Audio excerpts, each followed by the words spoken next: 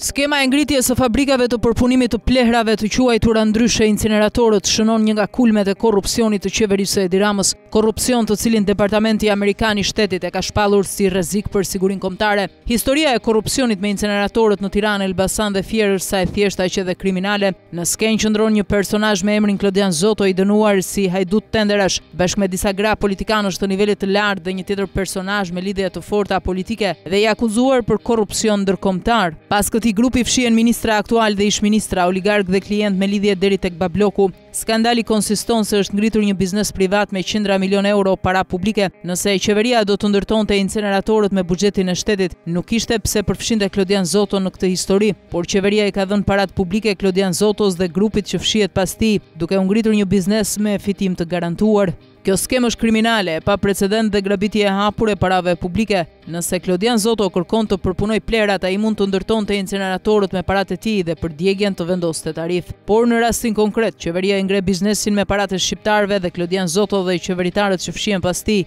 Do të marrin sërish para me tarifën për djegien e mbeturinave. Kontrolli i lartë i shtetit e ka hetuar këtë skemë. Sipas KLSH-së, vetëm për inceneratorin e Tiranës do dalin nga buxheti i shtetit mbi dyqind e njëzet milionë euro, njëqind e tridhjetë milionë e tetëqind e tetëdhjetë e tre mijë e shtatëqind e pesëdhjetë euro me mbështetje nga qeveria dhe nëntëdhjetë e një milionë shtatëqind e tetëdhjetë e katër mijë e pesëqind nga buxheti i bashkive. Arkitekti i kësaj vjedhje është Arben Ahmetaj, në atë kohë ministër i Financave në bashkëpunim me Edi Ramën. Hetimi i Kontrollit të Lartë të Shtetit ka zbuluar shkelje shumë të rënda dhe flagrante, të cilat nëse SPAK do të zbatojë ligjet dhe do administrojë dosjen, duhet të kërkojë arrestimin e Arben Ahmetajt dhe më pas të Edi Ramës, i cili hoqi Shkëlqim Canin dhe vuri Tigrin, pasi Cani nuk firmoste aferat. Sipas dosjes, kur është miratuar koncesioni për inceneratorin e Tiranës, nuk janë pyetur bashkitë nëse kanë para për të paguar Klodian Zoton. Gjithashtu, studimi i fizibilitetit, dokumenti bazë i koncensionit, është i rremë. Sipas KLSH-së, projekti koncensionar, PPP Ndërtim Landfilli Inceneratori dhe Rehabilitimi i Venddepozitimeve Ekzistuese Tiranë është miratuar nga MFE-ja megjithëse studimi i fizibilitetit i paraqitur nga autoriteti kontraktor